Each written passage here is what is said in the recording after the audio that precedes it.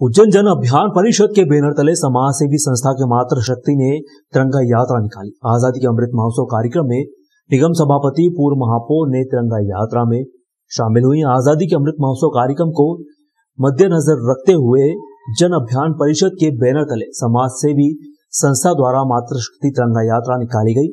यह यात्रा उज्जैन के शहीद पार्क से शुरू होकर शहर के प्रमुख मार्गों से होते हुए टावर चौक पहुँची, जहाँ मातृशक्ति व नव नियुक्त निगम सभापति कलावत यादव ने मातृशक्ति को संबोधित किया। पूर्व निगम सभापति सोनू गहलोत ने जानकारी देते हुए बताया कि जन अभियान परिषद द्वारा एक तिरंगा यात्रा निकाली गई, जिसमें बड़ी संख्या में मातृशक्ति एकजुटता होकर शहर के मुख्य मार्गों पर घूमते हुए नज़र आए। साथ ही आज़ादी के अमृत महोत्सव कार्यक्रम को सफल बनाने के लिए शहर की जनता को जागरूक भी किया गया। उज्जैन की समस्त सामाजिक संस्थाओं के द्वारा किया जा रहा है।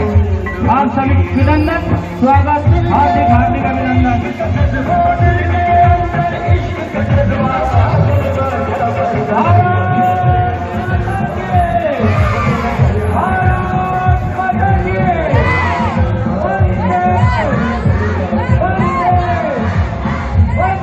निकाली जा रही है। माननीय हमारे यशस्वी प्रधानमंत्री मोदी जी के द्वारा घर घर तिरंगा अभियान चलाया जा रहा है। उस अभियान के तहत रोज़ाना कहीं ना कहीं तिरंगा यात्रा निकल रही है। तेरह तारीख से पंद्रह तारीख तक घर घर तिरंगा फैलाने का अभियान चल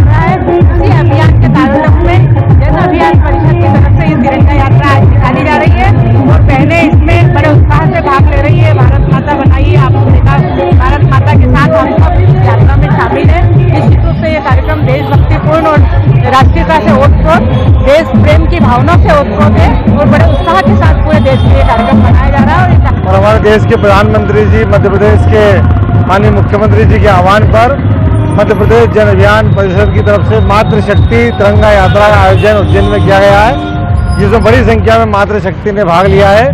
देश की स्वतंत्रता के समय मातृशक्ति ने भी इस देश की स्वतंत्रता में भाग लेकर अपने प्राणों की आहुति दी थी। या जो स्वतंत्र संग्राम सेनानी इस काम में लगे थे, उनको पीछे रहकर सहयोग दिया था। तो मुझे लगता है कि मातृशक्ति के बिना आज़ादी का पर्व अधूरा है। तो मैं इस अच्छे कार्य के लिए जो बहनें हमारी सम्मिलित हुई है, मैं उनको धन्यवाद देता हूँ। जन अभियान परिषद की विभिन्न संस्थाओं ने इस शोभा यात्रा का, तिरंगा यात्रा का स्वागत किया है। मैं उनको बधाई देता हूँ। बहुत बहुत धन्यवाद। भारत माता की